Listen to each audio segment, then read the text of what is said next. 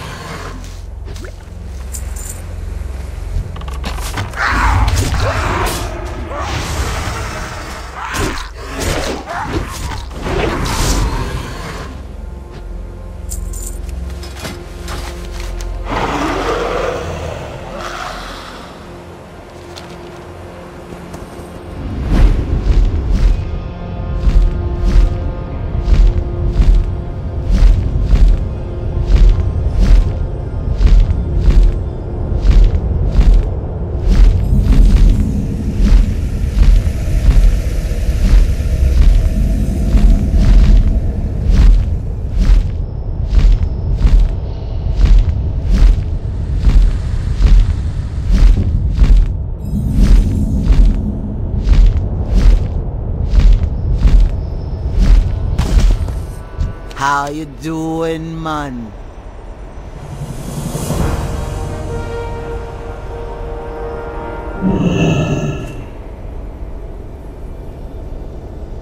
Be seeing ya.